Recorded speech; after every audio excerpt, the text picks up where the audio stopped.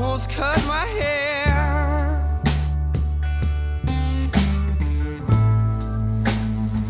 Just the other day,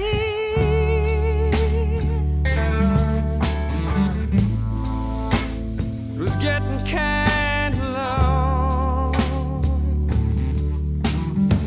I could have said it was.